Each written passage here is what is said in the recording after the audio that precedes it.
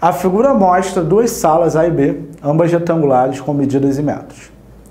Sabendo-se que as duas salas têm o mesmo perímetro, pode-se afirmar que a área da sala A em metros quadrados é A.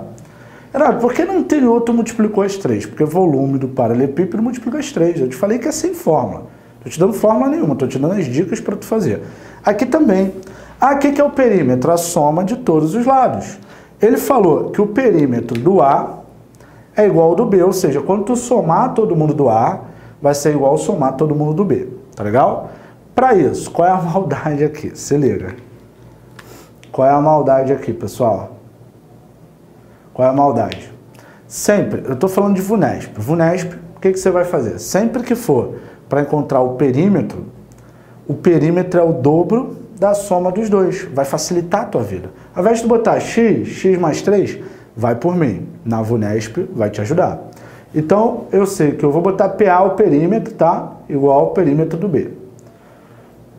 Então, como é que vai ficar o perímetro do A? Duas vezes a soma dessas duas.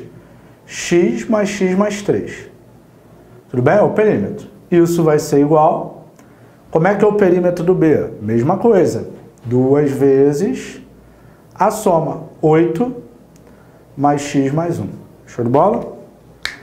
Assim, eu vou encontrar o valor de x e, consequentemente, encontro a área do A que eu quero. Tudo bem?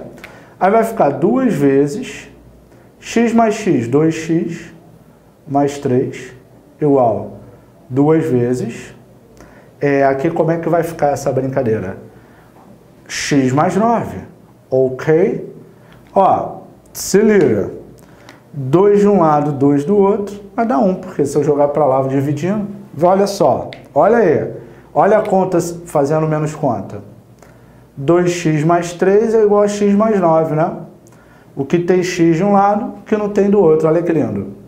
2x menos x é igual a 9 menos 3, ou seja, x é igual a 6. Morreu. x é 6. Pronto, achei o valor de x. Agora, o que, que ele quer encontrar, galera? Ele quer encontrar a área da sala A. Pô, vou botar aqui a sala A, tá? Só pra gente representar aqui.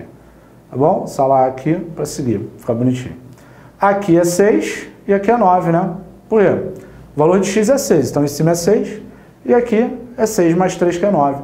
Então a área vai ficar 9 vezes 6 que dá 54 metros quadrados, porque tudo ali está em metros, né? Então, quando calcular a área, vem em metro quadrado. Qual é o meu gabarito? Letra D.